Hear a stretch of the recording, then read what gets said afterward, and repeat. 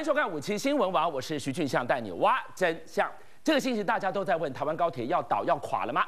全世界最大的 BOT 案烂摊子丢还给政府，会不会变成全球最大的笑话？当然，你可能讲到台湾的 BOT 说弊案重生，当然不止高铁这一桩。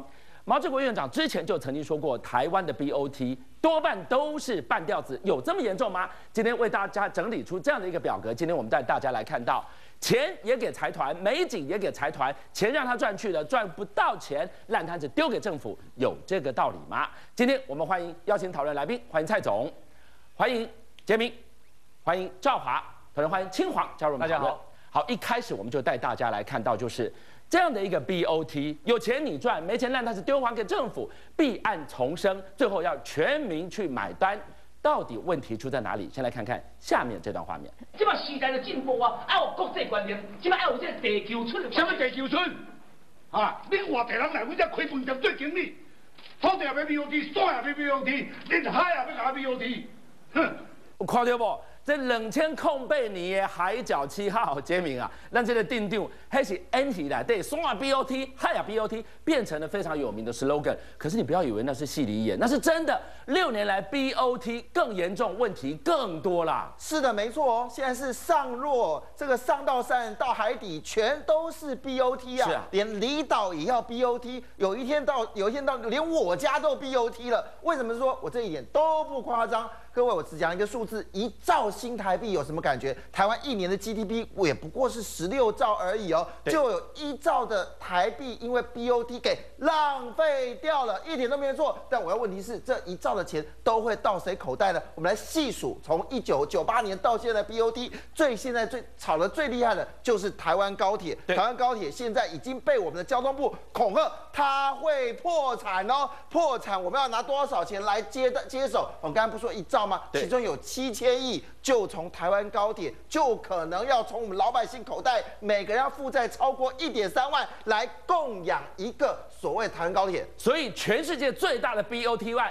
打一个叉，失败，失败。好，这样只有失败一个吗？没有。我们说，我们希望个机场，机场有个机场捷运，喊了多少年？看到香港机场捷运也盖了，这个北京的机场捷运也盖了。而我们的机场捷运在哪里呢？好，政府说啊，政府没钱，那我们就 BOT 嘛。好，那我们就支持你 BOT OK 吗？就搞了半天，BOT 又变成政府自建了。而且重点事情到目前为止还在跟日本一家公司，就所谓机电部分还在打官司。是说好的，我们的机机场捷运呢，现在也是一个梦幻。到目前为止哦，还是梦幻。不止如此，像台北一零一，哎呦，眼泪都要流出来了。哎，台北一零是台湾的骄傲，结果竟然让一家魏家用百分之三十七股权，而且还是卖家是用折价的方式卖出去。哎，结果竟然掌握了一零一。哎，说好的台湾的荣耀，竟然落到所谓魏家手上。还不止如此，美和是这个。有亏了一百一十亿，台北大巨蛋，哦，这个一定要讲这个，这是大灾难。等我们来谈这件事情。所以从杰明告诉我们，从台湾高铁一路到了台北大巨蛋，可以说弊端重生啊。事实上是从台湾北一直到屏东都弊案重生，现在离岛都可能有了。但是请我们观众注意一下，眼尖的人一定发现到一件事情：机场捷运是从哪里到哪里？台北到桃园。是台北一零在哪里？在台北。美和是在哪里？美和是在。以前的台北线，但是属于台北捷运。然后台北大巨蛋哦，这个现在我们等会讨论哦。这里有很多故事哦。有没有相信一件事？大巨蛋不能打棒球这件事情在哪里？在台北。台北大巨蛋，大巨蛋不能打棒球，这是什么鬼啊？等一下好好说进去，是一定要讲。那哎，台北捷运站在台北，ETC 从这个基隆到屏东也。经过台北，天哪！你讲了几样，全部都在台北啊？那请问一下，台北市长以前是谁啊？哎呦，我的老天爷，先当总统呢？好，不过这也不重要，重要事情我们一件一件事来说，这里面加起来金额，连一个北投缆车都有人会涉及收贿缆车，哎，那是一个观光中心，哎，所以你看到这个故事，告诉我们一件事：这一兆钱，我们要向谁追讨？今天网友在网络上讨论纷纷的 BOT，让他们质疑到什么程度？有一句顺口溜这么说：你讲台中歌剧院，歌剧院不能听唱歌；你说台北大剧院，大剧院不能打棒球。这个顺口溜，哎，还有呢，大鹏湾本来是用 F1 赛车的，就 F1 赛车也不能走。今天球迷在听这个表格，看这个表格最有感。为什么？当你告诉我台北大巨蛋二零一七世大运可能看不到棒球的时候。哎，很受伤哎。是的，没错，就是要快发生了，因为我们知道再过现在是再过三年，我们就要怎么样，在台北就要有一个，就是说这个全球的这个大学这个世大会世大会。那世大会呢，本来预期有一个棒球赛，但是问题是很可能不能走哦。为什么这样子？我们先回顾到一九九一年，一九九年发生什么事情？那时候职棒赛要进入到中赛哦。一万多的球迷蜂拥到这个国家的这个我们台北的这个球场，然后正要看开赛的时候，发生什么事情？什么事情？下大雨，下大雨。所以你看到。在几十年前，那个一九九一，民国八十年啊，是下大雨延赛，让多少人伤心呐！那时候大家说我们要大巨蛋，我们要大巨蛋。结果我们当时总统姓李，叫李登辉总统，他说我听到了，我们帮你付个巨蛋好不好？所以台湾的巨蛋梦就是那个晚上喊出来的，而且是为了打棒球来的巨蛋，是一定要讲清楚，为了打棒球的巨蛋哦，要把这讲清楚哦。好，接下来这个给我巨蛋完之后呢，就有一个巨蛋的梦，但是很抱歉。一直到一松烟，结果要来做巨蛋。好了，那松烟巨蛋，我们的球迷很开心，我们终于有巨蛋，对不对？梦想越来越近而且重点，那个巨蛋名字叫做文化体育场。哎哎，我再请问一下我们英俊的主持人，请问一下，这文化体育场，你有听到任何商办吗？没有啊？有听到这个购物中心吗？有吗？没有嘛，就文化体育场嘛。然后让你运动。好了，重点来了，结果搞了半天，他们所谓的大巨蛋竟然面积远小于所谓的商场跟所谓的这个 shopping mall，什么意思？那是怎么回事？我们来看一下，这就是当时呢，这个这个郝郝龙斌跟马英九就决定说，我们来搞一个松烟巨蛋嘛。好，那就把整个案子呢就做了一个很完整的规划，它的名字叫做文化体育园区。对，好，文化跟体育，那么是以巨蛋为设计的核心，所以总体看到应该是一个巨蛋嘛。哈。那么大巨蛋总楼面积呢为九点六万平，就是我们指的一些呃商办。那里面呢还有指这个包括了，就是说整个扣掉所谓的楼板楼地板层呢，你大概是九点六到三点五万这个地下楼层。我告诉你，球迷一点都不 care 你。好了，我讲这些都是光看这个可大心里就爽起来了。是是是，我就开始逐一个梦，我可以在那边看球赛，我可以在那边呐喊。没错，我们就是要一个呐喊的地方。那结果嘞？结果我们。这个一直招标都没有成功嘛？对，就结果呢，就有人来出来说，我来，这一来的时候，整个条件完全改变了。为什么改变呢？原来我们的巨蛋、巨大巨蛋变小了，商办变大了。原本只有九点六万平，就出来结果是其实变十四点九万平。什么意思？你说一刚开始你要给我的是一座文化体育园区，有刚刚你说的这些相对应的面积使用，是巨蛋，然后旁边有一些商办文化中心改啦，结果改成是什么？天哪！天呐！结果是什么？巨蛋变小了，但是商办面积从原本预计的九点六万平，扣掉三点五万，应该是只有六六点一万平，变成十四点九万平。我有最可怕的一件事情，怎么会有这样的改变呢每个都在这个地方，各位。以商业促进发展为前提哦，这怎么可能发生呢？不是文化体育吗？对，怎么变商办呢？好了，所以一个两百六十亿要给我们的巨蛋梦，竟然给我们是商办，我们继续开下去。所以我们要一个巨蛋百货公司吗？这怎么可能？好，那我们这样讲哈，至少有巨蛋嘛。对，OK，那我们应该要开心点。但是重点来了，我们说所有的球场它都有一定的规矩，是要符合国际规格，所以才有国际的球赛才能产生嘛。我们刚才讲。这次的四大，这次我们说城市大学，所以一九九一年他呐喊我要巨蛋，我要巨蛋，对我们等着在巨蛋可以挥棒，是的，看我们要一个国际性的赛事啊，而且希望全球最棒的球队来台北打球，是不是这样子？来吧，来吧，就没有了，为什么？这因为为什么？第一件事情，所有的规矩都有设定的，一垒到三垒的面积应该是长度应该是一百七十五公尺，是，结果这个规矩错了，因为为了。这个缩小的面积，它变成只有一百四十公尺，只光一百七十五变成呃有有有现在是到一百九十哦，结果一百七十五变一百四十，对不起，这就完全不符合国际赛事，它的高度由从原本的三层楼变成四楼，所以你看到一个极高的一个大楼，但重点来了，它后面的本垒的高度呢也拉高到八十公尺，所以你看棒球的时候，球比你还要低呀，对不对？你说就看好了怎么办？这么漂亮的一个巨蛋。在台北市中心这么重要的繁华地带，越来要给我们许一个巨蛋，结果我们巨蛋竟然孵不出来，现在已经是到二零一五年了。所以人民大家想问，哎，你今天花了差不多两百到两百五十亿盖了一个台北大巨蛋，我们的巨蛋梦呢？我们的棒球梦呢？你居然告诉我说，二零一七的世大运我看不到棒球，这给我要不要那加手？所以有人就愤怒了，说台北市政府给我说清楚、讲明白。所以毛院长在二零一三年的时候，他曾经讲过，我们的 BOT 案都是半吊子，真给他说中了。而且后面都变更，都在后面一瞬间变更。其实我们刚才讲金站不是这样子吗？金站上面的楼房竟然可以卖断。好了，这个重点不在这里，重点是有一个人在伤心了，他叫做杨所以。巨蛋居然盖起来不能打棒球，是，而且是二零一五年的现在哦。那也就是说，难道我们过去没有别人有经验可以把巨蛋孵起来吗？我我们来看一看巨蛋这两个名字，我们看日本，人家日本好几颗蛋，是他们怎么盖的？讲到这边，我刚刚不是有一个地方讲讲的很快哦，连杨代刚可能都要流眼泪了。我们知道现在在日本最有名气的台湾球员，哇，你知道日本的那些姑娘，樱花姑娘看到他火腿队的杨代刚受不了杨代刚，是不是？来，他就是杨代刚。杨代刚在巨皇就是巨蛋打了 N 多支这个全垒打，那么就知道原来有个叫做札幌巨蛋。札幌巨蛋什么时候盖好？在二零零六年之前就盖好了，所以比我们之前搞早了几年。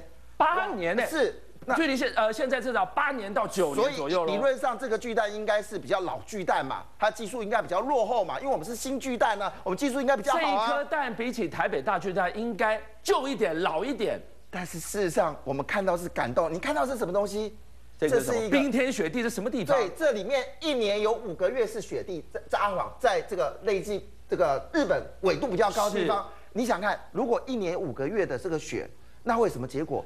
那么雪压在这个我们说的屋顶，屋顶会怎么样？会塌呀，会塌所以风跟雪是它的最大考验。在北海道这么冷的地方，这一颗蛋哎长得还蛮怪的。是的，所以主持人我我一个问题了，既然最不适合盖巨蛋的地方都可以盖起巨蛋，那我们台北松烟适不适合？赶赶赶快看人家那。我们看一下，这是一个什么类似海獭的一个形态？为什么？因为那边雪积的很多，所以呢，它就这个为了让雪呢不要在这个屋顶上面积雪，但是因为这个我们说的北海道呢有这个东北季风，什么叫做像是一只海獭趴在屋顶上？就像这一只，各位。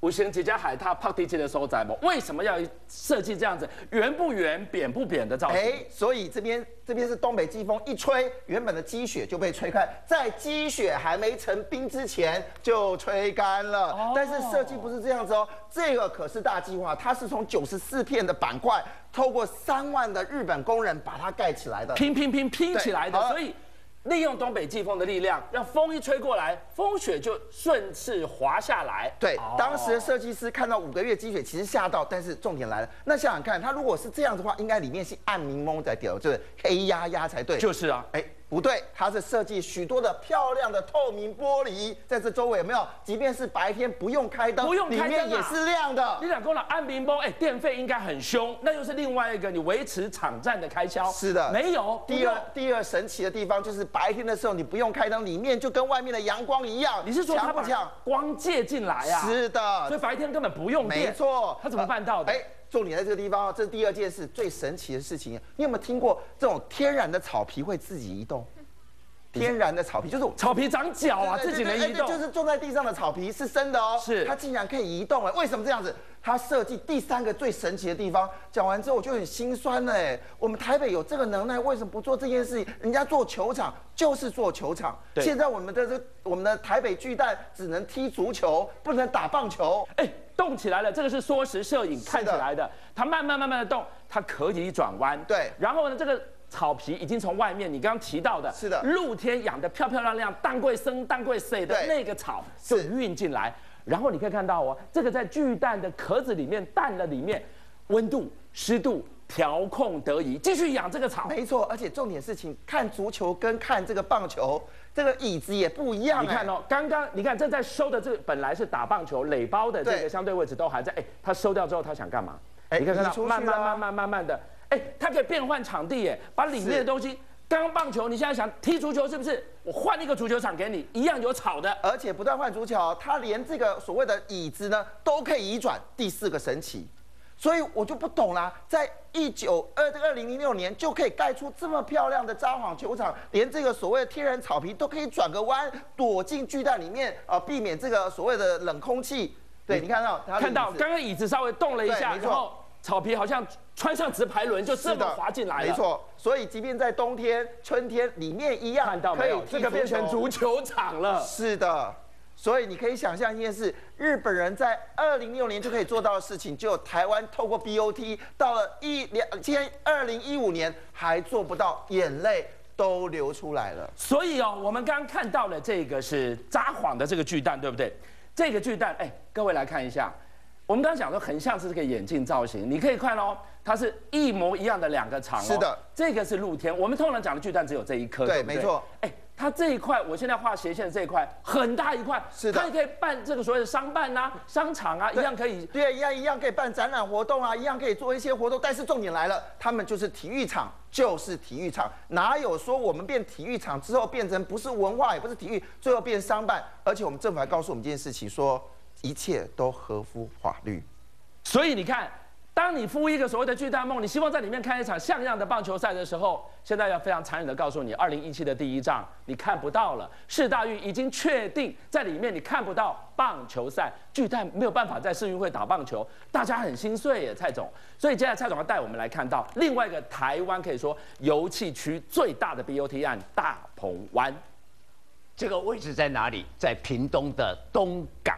其实我去过，我看了以后啊，我假如说，哎，我是从国外看一看其他的这种设施来看，加新生，阿拉公新生，这个 BOT 案号称台湾最大的油气产业的 BOT，对，那两百五十七公顷，投资呢二十亿台币，二十亿的大鹏湾 BOT，各位，我们先问一下观众朋友。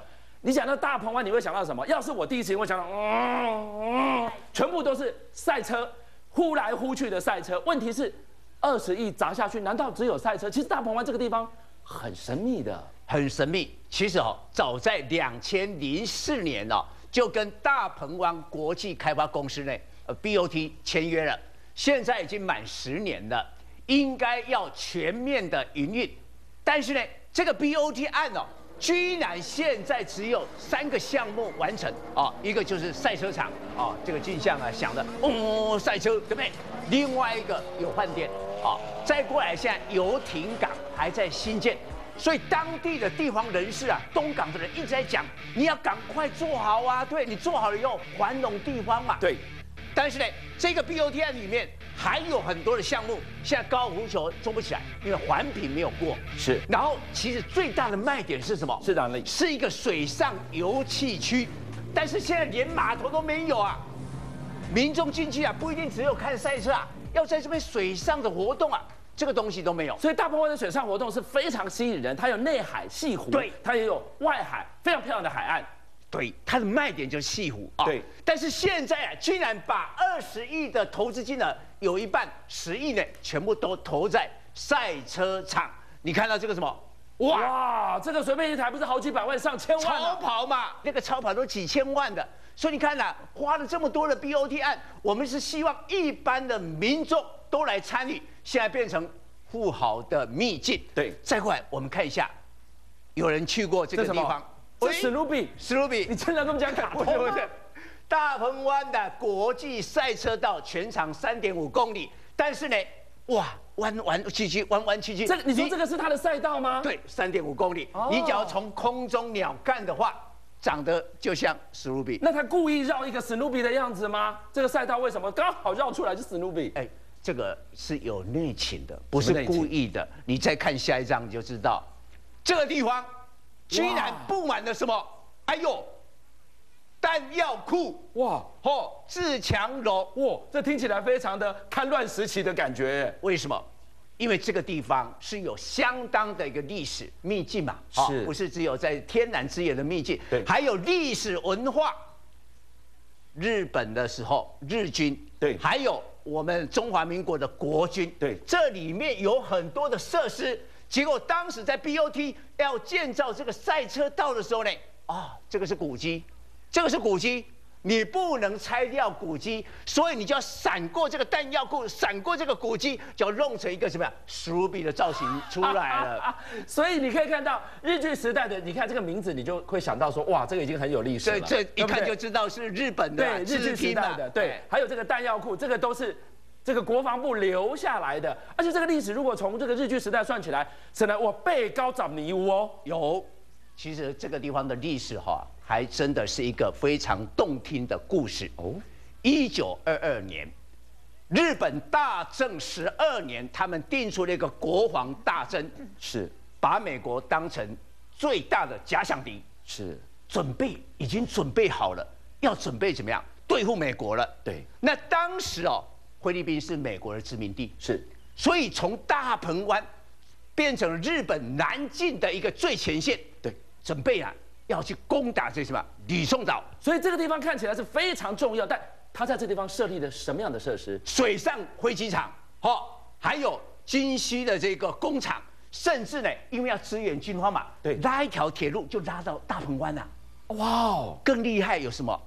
日本的潜水艇的基地就在这个地方。所以你可以看到哦，这整个码头港湾，在过去连潜水艇码头都已经设到这个地方所以，就像我老实讲，这个全世界非常有观光价值哦。你游客来了以后啊，结果没想到，在这个赛车场的下面有碉堡、有地道，甚至有在水里面的潜艇的基地。你看，充满了观光的资源。好，那二次大战之后，国民政府把它接收，国民政府就把空军参谋学校、空军用校从北京、南京把它迁移到东港来，就放在这个地方。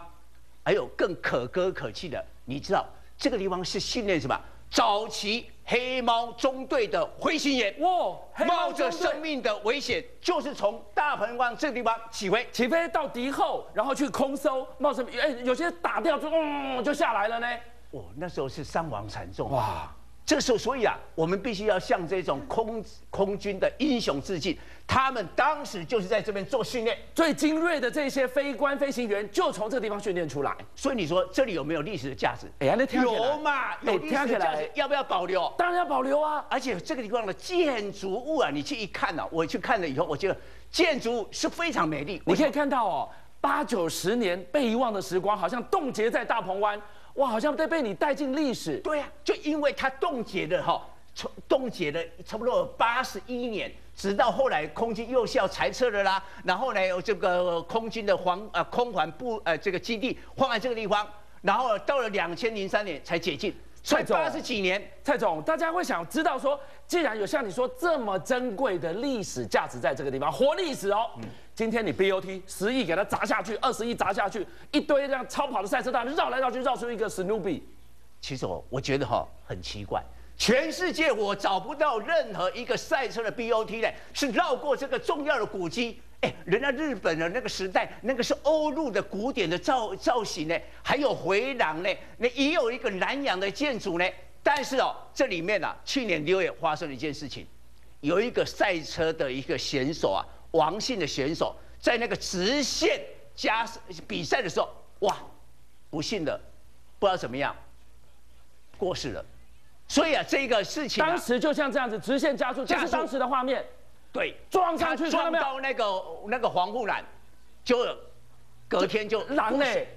隔天就过世了。哎呦，就这部白色的车子，对呀、镜头啊差点追不到他。好，然后待会儿会另外一个角度，你可以看到出事前的那倒数三秒钟，就这么样子。这个哦这个就发生在去年的六月进来了哦六月，那当然了，检方后来去查以后是说，哎呀，他没有做好一个刹车的这个动作哦，但是也有车友质疑哦，一般国际的赛道呢，这个大概缓冲的区域应该有八百公尺的长度，是结果我们这个大鹏湾呢只有三百，就这样撞上去。对啊所以现在大家就是追究说，到底是什么原因？当然后来去调查的结果，官方给我们的版本是说，车子的问题、刹车失灵、机械的问题、场站设计没有问题。可是专业的这些车友他们说哪有没有问题？你看那个这个预警距离八百公尺、缓三百公尺，冲缓冲的距离对缓冲的距离。因为我也我也上网看了，的确很多的车友，呃那车友都是 pro 的哦，都是那个这个专业的哦、啊回共等啊，蔡总，他们都说认为这个赛道的缓冲不太够。你看，那多少看台北大巨蛋也不合规定，搞到后来标准的这个棒球赛搞不好举办不了，然后再来连个赛车场国内唯一合法的啊，现在可能也不合规定，哎，这样都是半吊子呢。半吊子。然后我们来看别人怎么做，别人是怎么做。其实呢，马来西亚，我们一定觉得说马来西亚哎比不上我们嘛，东南亚的国家啦，不让它进步啦。在距离吉隆坡大概一小时六十五公里的地方，有一个叫做雪邦赛道。一九九九年，他花了一点二亿美金啊，然后呢完成了这一个赛道。是这是标准的 F1 的赛车道哦。F1 的话我们这个大鹏湾是做不到哦 F1 的哦。刚刚就我们是 F2 F2 哦。对对对我们是 F2 哦，这要搞清楚哦。是哦，它有非常漂亮的直线的车道，是而且有连续十五个转弯的车道，哇，国际级，而且这个主观众席就容纳三万人，旁边呐、临时的观众席有八万人，总共加起来十几万人，你看这么大的一个场地，雪邦赛道，那几节的赛道哦，它就是一个点燃经济发展的火车头。所以我们看到了，你知道这样哈、下来以后呢，它购物节还有整个观光的效益，三亿美金，三亿美金将近一百亿的台币。哇，一百亿的产值啊！然后呢，点火了以后，整个马来西亚的观光是不是被被带动了？带动的时候呢，一九九九年就是没有这个雪邦赛赛道的时候呢，马来西亚一年的观光客五百万人，你知道他去年多少？两千五百万，哎台湾的三倍，台湾的三倍。投资一亿，然后每年赚三亿。哦，这是阿拉省哎，所以你你哦你你比较一下，人家马来西亚他如何用一个雪邦的赛道 A1 的这个呃赛车的场地，然后来带动周边的赛车的观光经济，对然后配合了购物，带动整个马来西亚的观光。你觉得这样这样的这个建设是不是值得？所以我们今天讲到了 BOT，你看看看看别人，看看自己，我们看到了巨蛋，我们看到了赛车道，哎，青黄，南宫老公，双啊被 BOT，海啊被 BOT，金剑海马个 BOT，小琉球现在也要 BOT 啊，对我们说三野 BOT，还有比如现在连小琉球都要 BOT，而且要把小琉球 BOT 出去就是刚刚的那个大鹏湾国家风景管理处。对不知道为什么这个单位特别喜欢 BOT，现在他们连小琉球都要把它 BOT 出去。那你知道我们其实去小琉球的时候怎样？我们喜欢小琉球什么？喜欢它的碧海蓝天的风对景，然后你喜欢那边在那种渔村小镇风光，对，乡间小路弯弯曲曲的走来走去，散步很悠游很自在。没错然后你也喜欢那边的潮间带，喜欢那边看珊瑚礁。是那那一些环境其实都跟我们台湾本岛不一样，所以你去那边你会有度假的感觉，有因为你很放松。没错。但是呢，现在那个地方竟然我们大鹏湾国家风景管理处要把它给 BOT 出去，它要干嘛呢？它要在西北角的有一个叫沙马基营区的地方，因为它现在外包的业者到齐了，它要把它收回来，它要把它盖成一个国际的那个度假饭店，一个度假村，所以你在那边就会看到一个度假中心在那个地方。你说这个无敌第一名的海景，要把它让财团独揽，靠着这个海景去赚人民的钱，对，然后我告诉你，他为什么要这么做？因为他嫌原来他一个就是他本来一年只能收十三万，对那他现在希望能够找一个财团在那边盖一个国际级的度假村、度假中心，然后跟他收大概七百九十九万左右的钱，然后他觉得他这样子，哎，我有业绩可以跟可以跟什么跟国家交代。是那你知道他只是为了这七百多万，可是他可能是牺牲了这整个小琉球的生态环境。怎么说？因为你知道小琉球其实你如果有去那边玩，就知道现在小琉球怎么样，它已经很挤了。因为它巷它的巷它的巷道都不宽嘛，对。所以它像你现在去的时候，它平常交通就已经很窄了。是。那那个地方已经开发饱和到一个程度，你知道小琉球一年有一百万人次这么多的游客人数哦。这么小的地方搭船过去，一年都有一百万人次啊！，对，而且这个地方有趣的是什么？台湾其其他地方有人失业找不到工作，在小琉球这个地方是很多工作找不到人做。因为游客很多，观光业根本找不到卡去对来到啥港。这边这问题是，你今天如果 BOT 出去盖了一个很大的度假中心、度假的观光旅馆，那它负荷得了这么多观光客吗？对，所以你点到问题了。那个地方现在已经饱和了，一百万人次，所以你看，它只要到假日的时候，已经开始会塞车了哦，然后人挤得非常拥挤。那你现在只会造成两个结果：第一个，你如果引来了更多的游客，大部分的游客到现场去的时候塞在那个地方，然后人挤人，你不要讲说未来想象的，你光看这是现在，现在这个人光是在海边，大概等着上上船要要回东港吧？哦在排队到很久排了好几圈呢。对你现在光是那边排队，你知道最巅峰的时候，你排队排到一个小时都不过分，你知道吗？那你想想看，你如果要再来一个国际级的度假饭店，它再增加，比如说再增加两三千人次的那个分量，你觉得到时候的人需要等多久？没办法想象然后你再想想看，现在岛上的水电已经不够了哦，因为民宿已经越开越多了，是那所以已经越来越多的游客进去了。对那它现在已经不够，你再多了一个进去之后，那请问一下，那那边要怎样？常常要断水断电吗？不会吧？所以这么蜂拥而来的这个游客，会对它的水电造成很大的负担，对生态也是很大的破坏。对生态其实是最大的。为什么？因为小琉球有很丰富的潮间带，然后那边的珊瑚礁也很有名。是那最重要是有小琉球之宝，叫做绿蜥龟，他们把它当做镇岛之宝。你看很可爱的绿蜥龟，哇！这是保育类动物。而且小琉球绿蜥龟是全世界唯一，它常住在这方，四季你都看得到。对一般别的地方在这个以外的都是它是洄游生物的，你它要回来生蛋你才看得到它的。对，然后你知道绿蜥龟在对小琉球来说，它其实一年大概会上岸大概三十五次，然后在那边大概一年可以产四千多颗蛋。所以我们可以看到，这个小琉球的绿蜥龟真是当地的宝啊！我们不禁想到了几天前才离开的阿和，台湾人的生命教育会不会让绿蜥龟变成小琉球版本的阿和呢？我们很担心。关于 BOT 后面还有更多令人担心的阴阴暗暗的那一面。还要回来要告诉大家，昨天在节目当中跟大家分享了加盟悲歌的林老板林太太，他们有更多切身之痛，不要走开。